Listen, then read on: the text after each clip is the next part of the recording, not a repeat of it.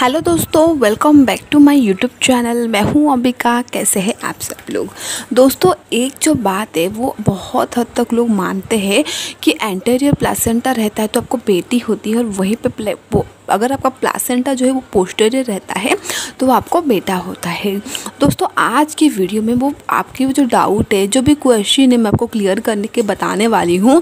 क्योंकि देखिए दोस्तों, इसके ऊपर आप लोग बहुत ज़्यादा मुझे कमेंट करते हैं, जो कि अलग से मैं आपको रिप्लाई नहीं कर पाती हूँ तो मैं सोची क्यों ना इसके ऊपर अलग से वीडियो बना दूँ मैं, ताकि आप लोग का जो भी क्वेश्चन है वो क्लियर हो जाए।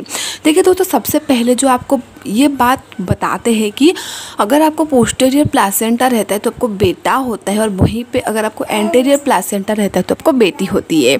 तो दोस्तों ये जो बात है बहुत हद तक गलत साबित होता है। हाँ बहुत सारे केस में सच भी साबित हो, जाता है। फिफ्टी फिफ्टी इसको आप मान के चल सकते हैं यानी कि पचास प्रतिशत तक ये सच साबित होता है।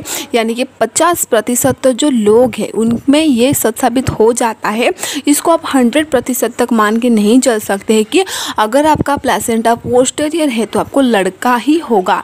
लेकिन अभी मैं आपको अपना पर्सनल एक्सपीरियंस बता देती हूँ। जब भी मैंने बेबी बॉय कंसीव किया था तो जो मेरा प्लेसेंटा है, वो पोस्टेरियर था।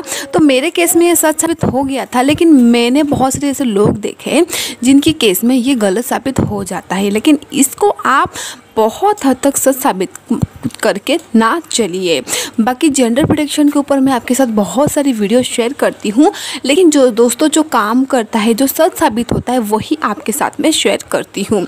ऐसे गलत सलत वीडियो बना के मैं आपको कभी भी गुमराह करने की कोशिश नहीं करती हूँ दोस्तों। तो ये जो जो बात आप मुझे क्वेश्चन जो पूछते हैं, ये बहुत हद तक गलत साबित होता है। हाँ बहुत सारे, बहुत सारी महिलाओं में सच भी साबित हो जाता है। मैं अपनी बात बताऊँ तो मुझमें सच साबित हुआ था। लेकिन इसको आप मान के ना चलिए कि अगर आपका प्लासेंटा पोस्टरियर है तो आपको लड़का ही होगा। बाकी दोस्तों, वीडियो अच्छा लगा तो वीडियो को लाइक करना चैनल को सब्सक्राइब करना और मेरी वीडियोस को अपनी फैमिली एंड फ्रेंड के साथ शेयर करना बिल्कुल भी ना भूलिएगा। हाँ अपना पर्सनल एक्सपीरियंस हमारे साथ शेयर करना बिल्कुल भी ना भूलिएगा दोस्तों। मिलूँगी ऐसी इन्फॉर्मेटिव वीडियो के साथ। तब तक के लिए take care guys love you bye